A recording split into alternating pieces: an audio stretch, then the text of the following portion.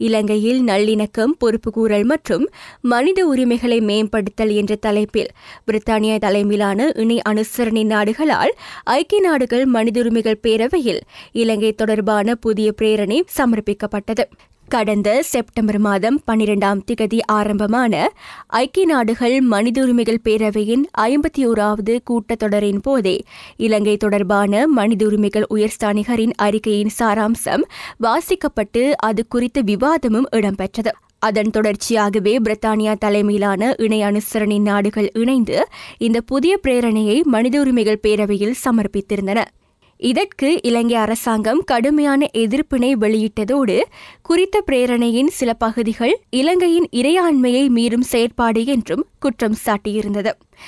மேலும் இது இலங்கை ராணுவத்தை குறிவைக்கும் விதமாக தயாரிக்கப்பட்டுள்ளதாக தெரிவித்த இலங்கை அரசாங்கம் இதனை ஒருபோதும் நிறைவேற்றப் போவதில்லை என்றும் அவ்வாறு செயற்படுவது அரசமைப்புக்கு முரணான விடயம் என்றும் கூறியிருந்தது.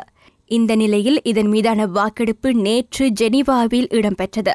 இதில் இந்த புதிய பிரேரணைக்கு ஆதரவாக பிரித்தானியா America German France Finland Poland Honduras Argentina Lithuania Mexico Ukraine தென்கொரியா உள்ளிட்ட இருபது நாடுகள் வாக்களித்துள்ளன. China Cuba Pakistan Bolivia Uzbekistan Venezuela உள்ளிட்ட ஏழு நாடுகள் இதற்கு எதிராக வாக்களித்தன. மேலும் Japan India Bangladesh Brazil Malaysia நேபாளம் Qatar Somalia Sudan Libya Kazakhstan ஐக்கிய அரபு ராஜ்யம் உள்ளிட்ட இருபது நாடுகள் இந்த வாக்கெடுப்பில் கலந்து கொள்ளவில்லை.